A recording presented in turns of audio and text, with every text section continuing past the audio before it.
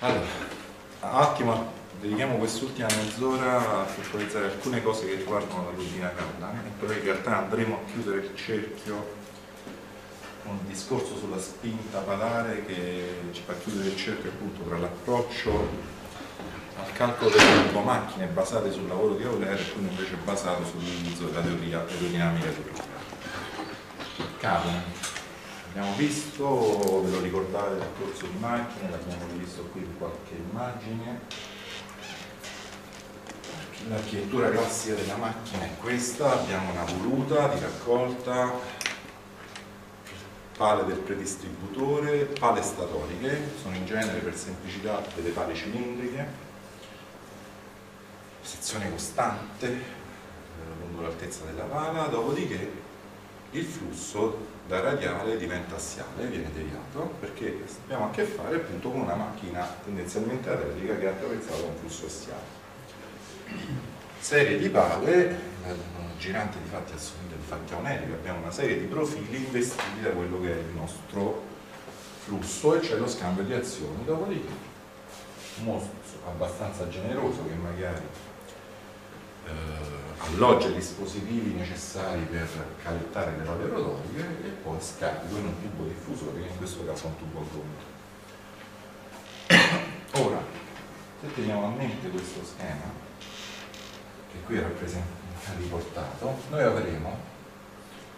ingresso della pala del distributore, flusso diciamo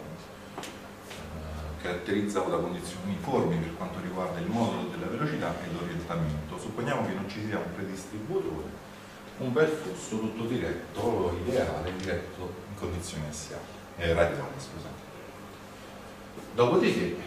la pala statorica, che è cilindrica, devierà il flusso imprimendo appunto una componente periferica. Un angolo alfa con 1 primo diverso da 0. Io ho distinto quello che è le condizioni del fluido, del flusso all'uscita dalla pala statorica dalle condizioni del flusso, in questo caso all'ingresso della pala rotorica. Perché è necessario fare questa distinzione?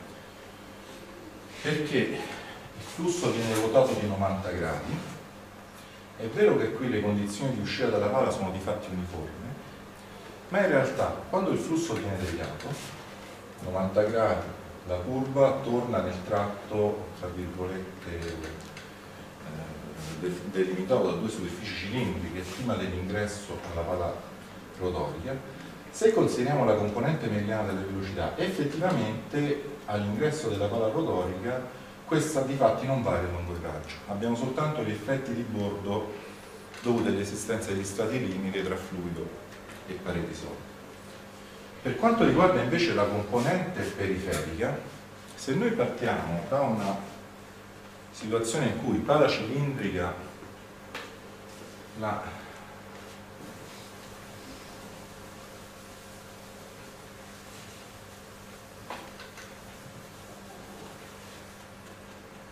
la C1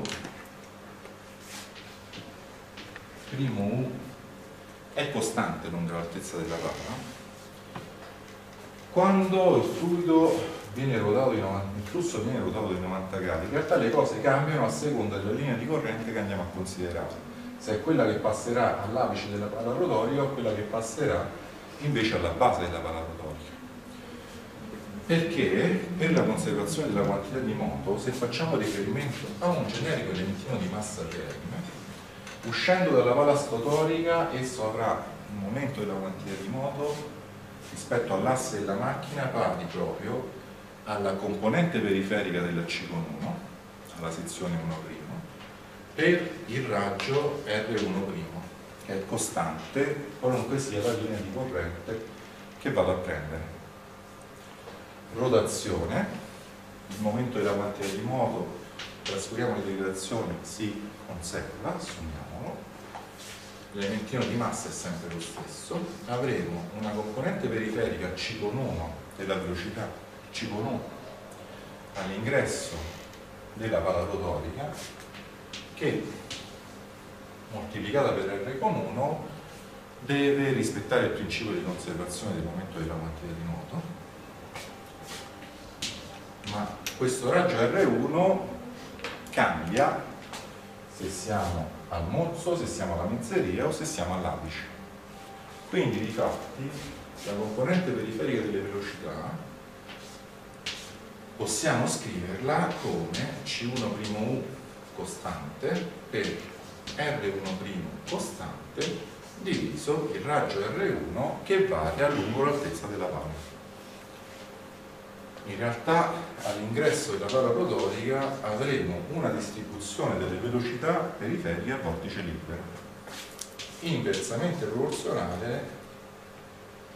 alla distanza dall'asse della macchina.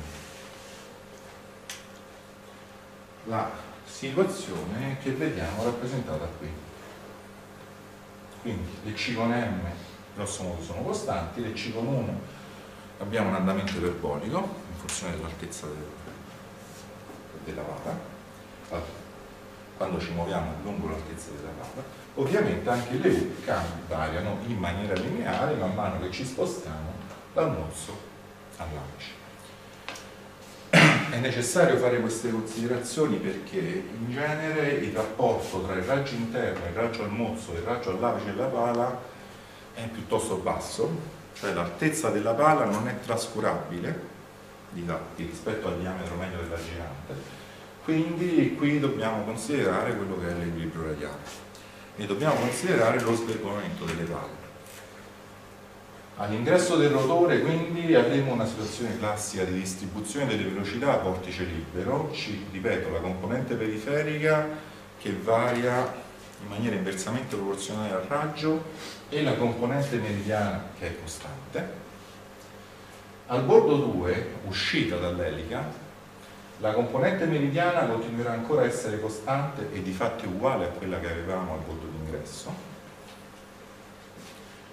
al punto di design, ripeto, turbina idraulica, la componente periferica della C con 2 sarà pari a 0 qualunque sia la linea di corrente che prendiamo in esame. Quindi in realtà anche al bordo di uscita della nostra pala rotorica noi avremo un andamento delle velocità a vortice libero per quanto riguarda le componenti periferiche. Quindi è naturale svergolare la pala della nostra turbina dedica o turbina Kaplan secondo la tecnica del vortice libero che comporta una cosa semplificazione assai creatina nei calcoli. Lavoro di palettatura scambiata per i raggi costanti come ricorderete quando abbiamo trattato i problemi dell'equilibrio radiale. Difatti, assumendo un rendimento di palettatura costante, indipendentemente dalla linea di corrente che stiamo esaminando, quindi se stiamo ragionando all'apice, alla mizzeria o al mozzo, comporta che è costante anche il lavoro ideale smaltito linee, seguendo le varie linee di corrente che possiamo disegnare attraverso la mano. Difatti, nel progetto della turbina Kaplan noi adotteremo solita tecnica delle macchine parziali, andando in realtà a studiare il funzionamento di una serie di macchine parziali delimitate da quelle che sono delle superfici cilindriche concentriche, dove l'asse è ovviamente quello dell'asse dello stesso della macchina. Stiamo trattando un fluido a proprietà costanti, quindi in questo caso non c'è il problema dello spostamento verso l'apice o il mozzo delle linee di corrente in seguito all'azione della forza centrifuga, quindi di fatti questa volta abbiamo effettivamente a che fare, almeno quando andiamo a studiare il modo, il modo attraverso l'elica, di un modo cosiddetto a fase cilindrica. Quindi individuiamo tutta una serie di macchine parziali, comprese tra le superfici cilindriche,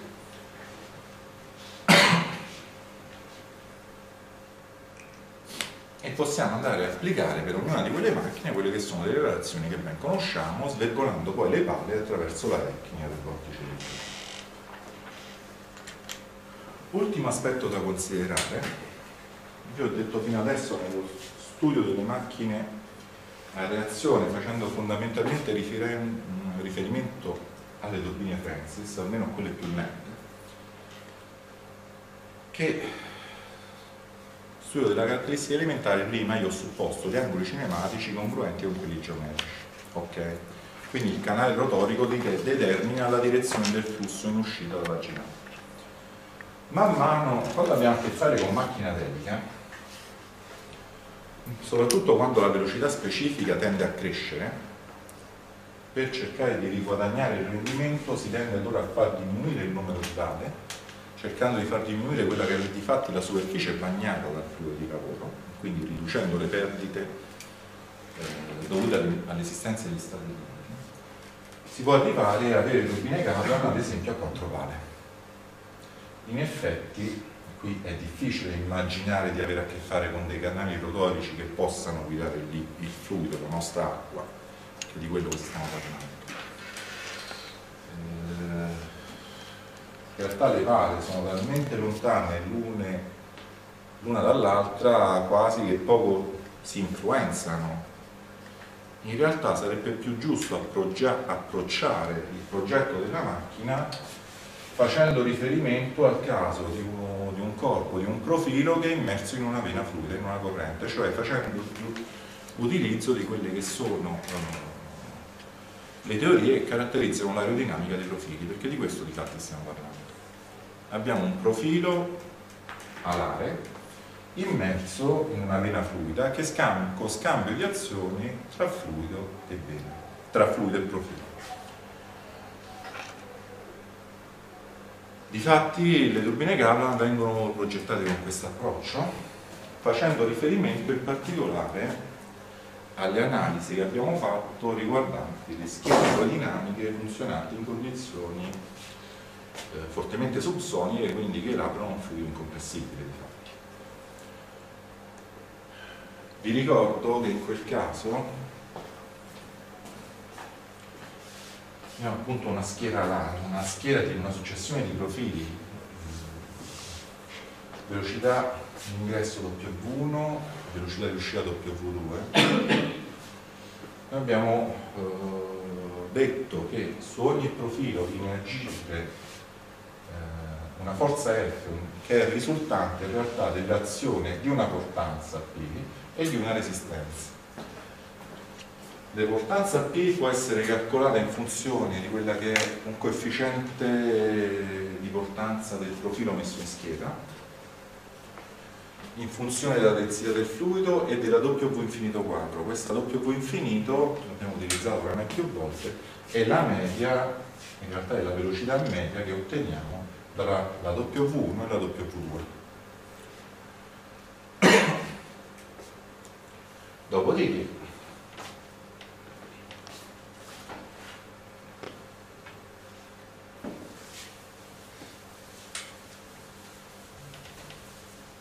appunto la portanza P che agisce è pari al coefficiente di portanza per un mezzo ρ densità del fluido per doppio V infinito quadro per una superficie di riferimento data dalla corda L e dalla lunghezza, in questo caso nella direzione uscente dalla lavagna, del profilo stesso. Indichiamo la B con B. Questa portanza è parallela, agisce in direzione, scusatemi, ortogonale alla doppio V infinito. La chiameremo invece resistenza l'azione che si sviluppa sempre per interazione tra fluido e profilo parallela alla W infinito, la combinazione di queste due azioni appunto ci dà l'azione resistente, l'azione risultante è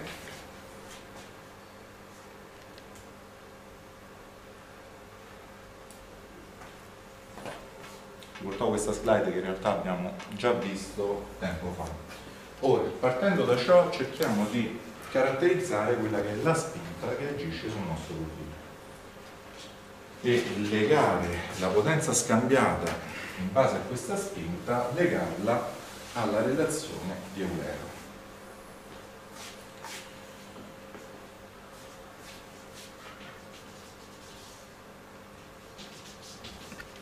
Supponiamo quindi abbiamo un profilo, io lo rappresento piatto sul mentre, quindi questa è anche la corda del profilo stesso misuriamo gli angoli rispetto alla direzione periferica. Quindi questo è l'angolo di caratteramento gamma veniamo in realtà ad andare a esaminare l'interazione tra fluido e pala. Nel caso stessimo esaminando una macchina parziale di quelle che ci servono per appunto per andare a fare il progetto della nostra turbina Kaplan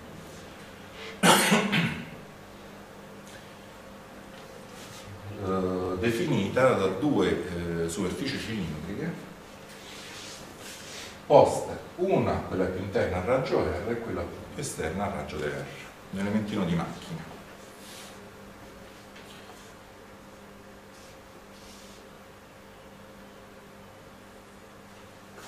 indichiamo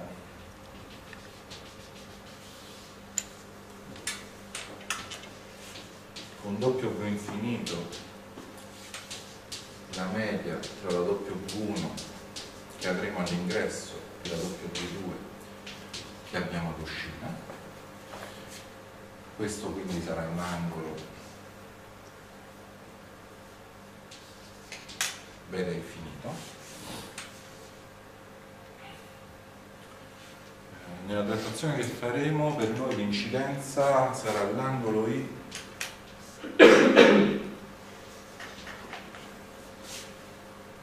formato tra la V infinito e la corda quindi in tal senso avremo che beta infinito sarà pari all'angolo di calettamento gamma più l'angolo di incidenza I. Questa, utilizziamo questa convenzione perché in realtà progetteremo una turbina utilizzando dei profili della serie Cottingai dove l'incidenza è proprio valutata in questa cosa, questo modo, è valutata rispetto alla corda, non rispetto alla tangente al bordo di attacco al profilo.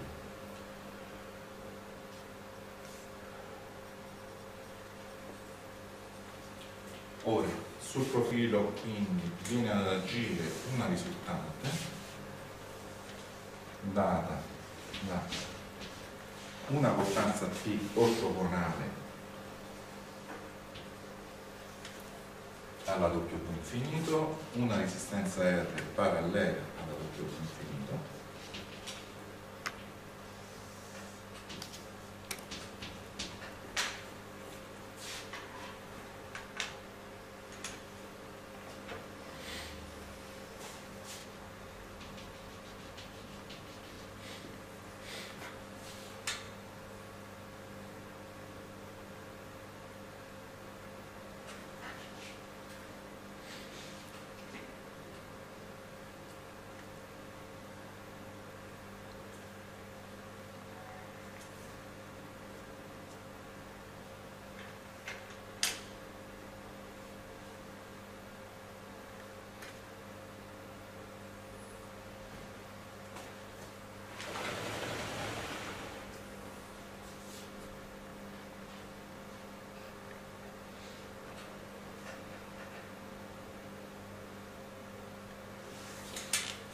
questo per noi sarà l'angolo di attrito lambda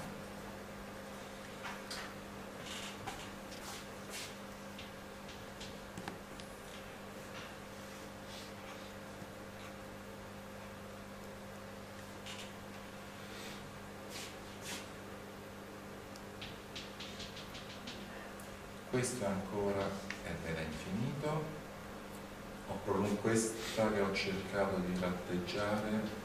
è il prolungamento della resistenza parallela quindi all'azione della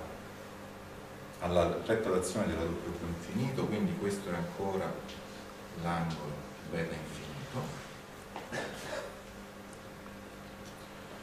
P è ortogonale alla doppio infinito quest'angolo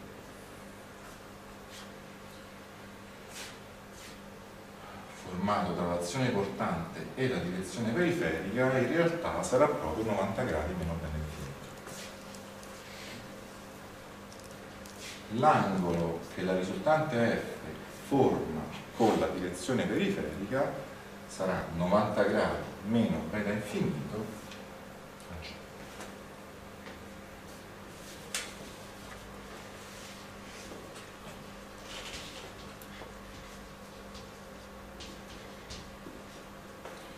più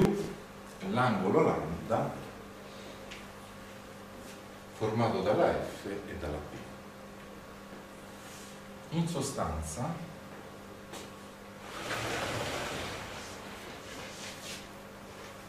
il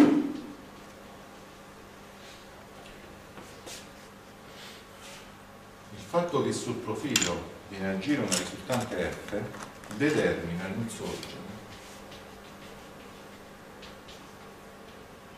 un'azione T parallela al modo di avanzamento del profilo stesso e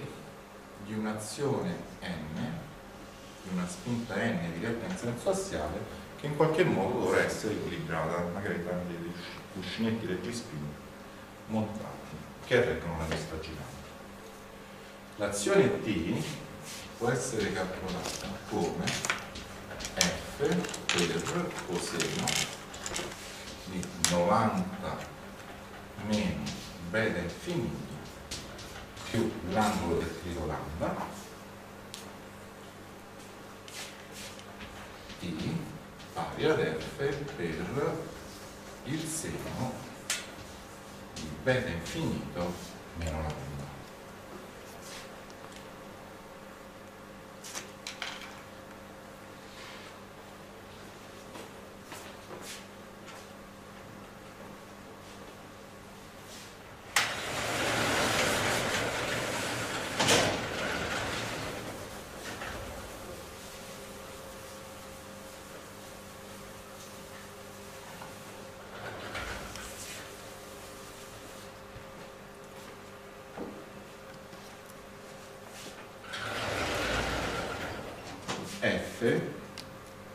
abbiamo detto della composizione di P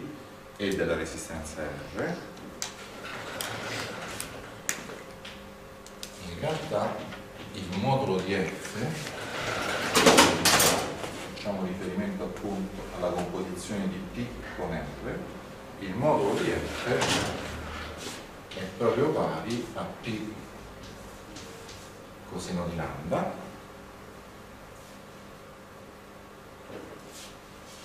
genere, perlomeno nel punto di progetto, quest'angolo di attrito è molto piccolo, inferiore anche a un grado, cioè si fa in modo di ottenere portanza, non resistenza. R è ridotto a valori molto molto piccoli. In genere è lecita l'approssimazione tra F e P, almeno come modulo, ma non come direzione. Tanto vero che noi considereremo la spinta T utile che agisce sul profilo come P per seno di beta infinito meno lambda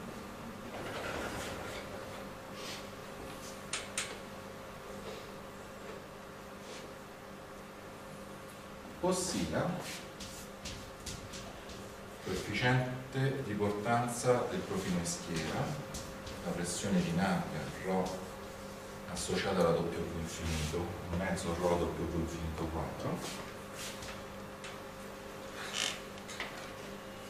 per la corda L la lunghezza del profilo, stiamo ragionando su una macchina elementare in cui le pale sono lunghe dr, quindi per dr, per il seno di beta infinito meno lambda.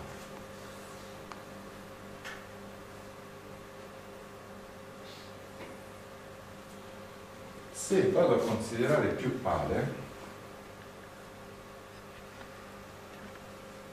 io secondo l'aerodinamica il flusso e la mia macchina elementare scambiano una potenza dW pari alla spinta T applicata sulla velocità periferica per il numero di pale Z che sto considerando.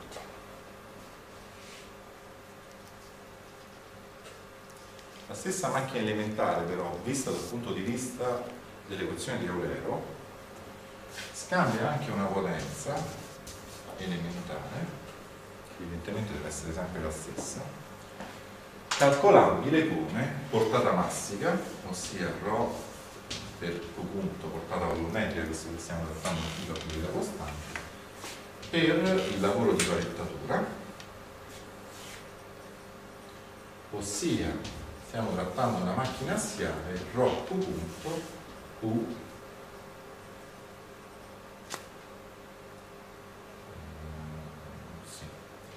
per delta C con lavoro di Euler.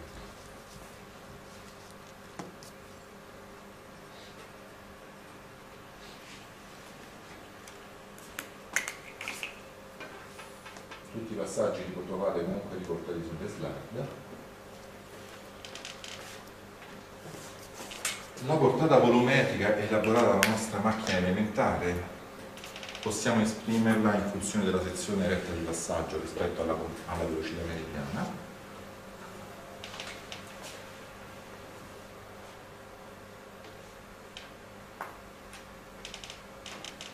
Andiamo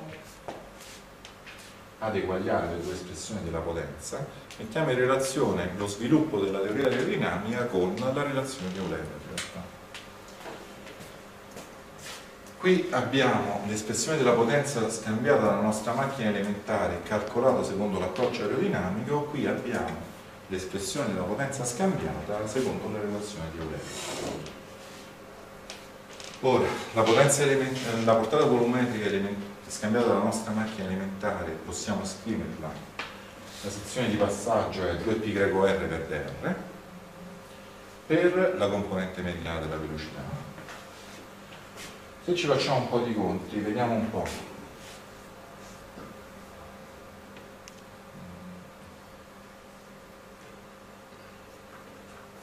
Introduciamo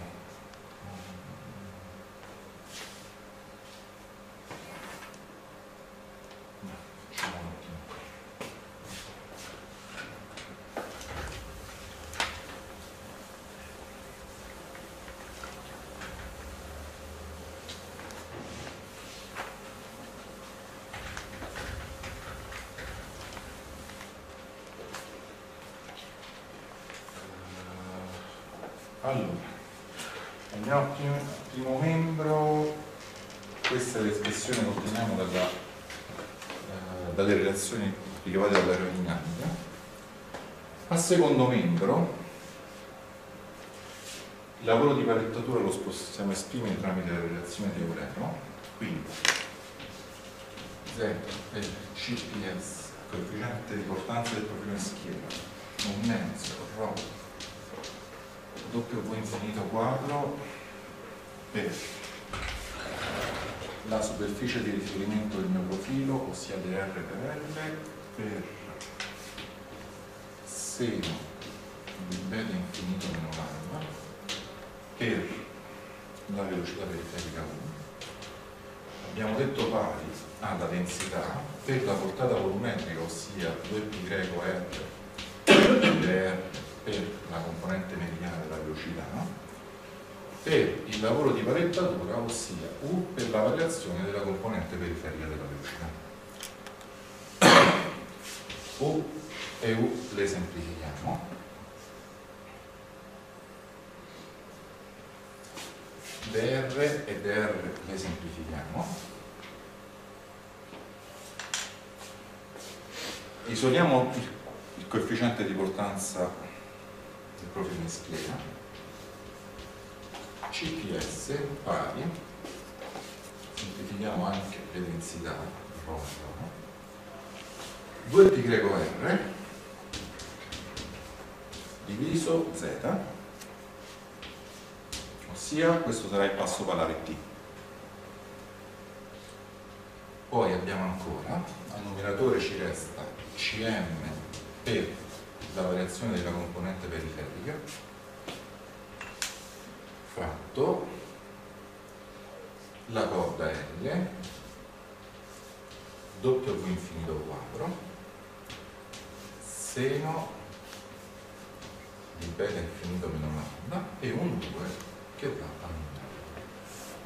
Non dovrei aver dimenticato nulla. Questo 2πr fratto z è proprio per definizione passo palare, il coefficiente di portanza del profilo messo in schiera dovrà essere pari al passo palare t diviso L per due volte la componente mediana della velocità, la reazione della componente periferica fatto doppio V infinito 4 seno di beta infinito meno 1 ossia la relazione che trovate qui.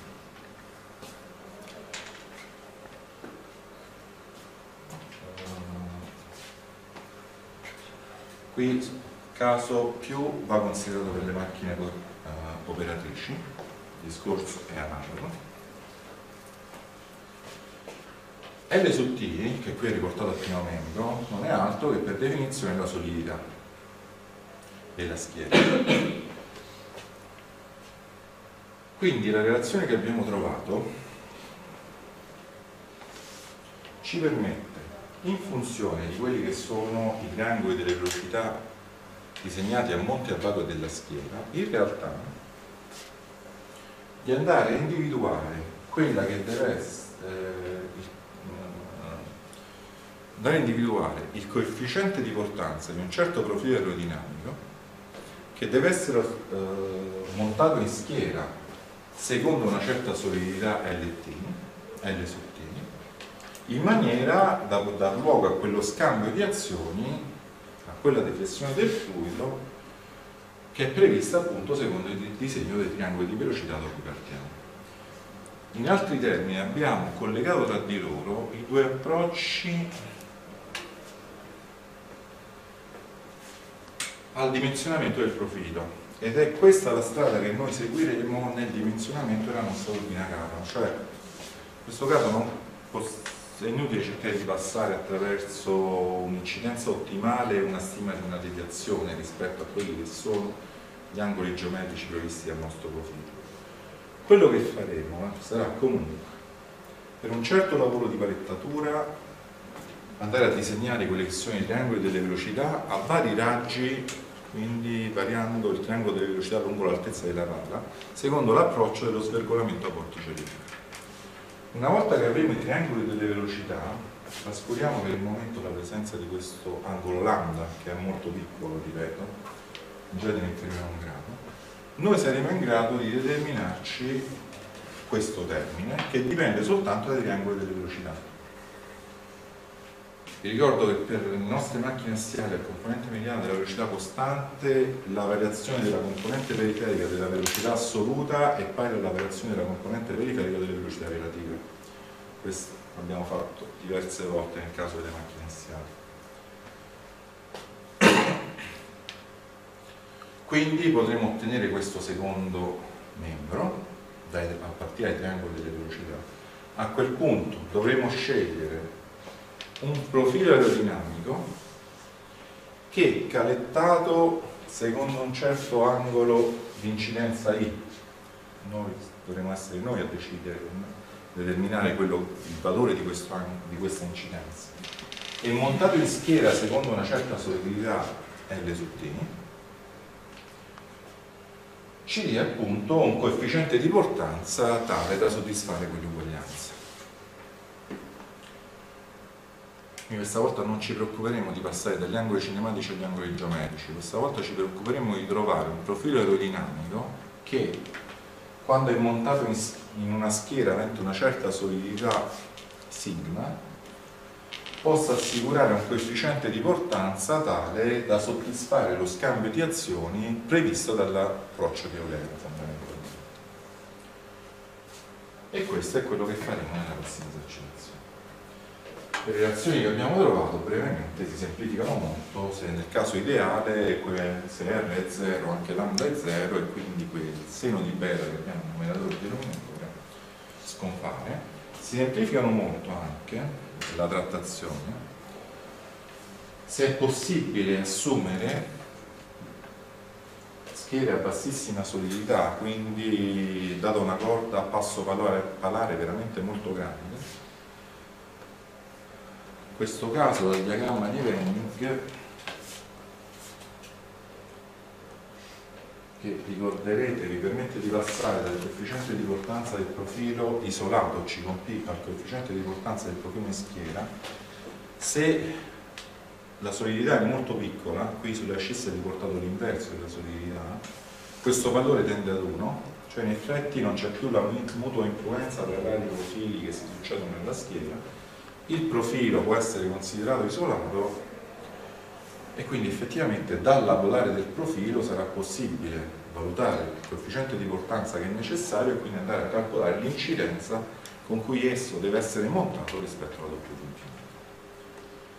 Va bene, questi sono calcoli che poi faremo praticamente nella prossima esercitazione. Se non avete domande ci fermiamo qua per quanto riguarda la trattazione.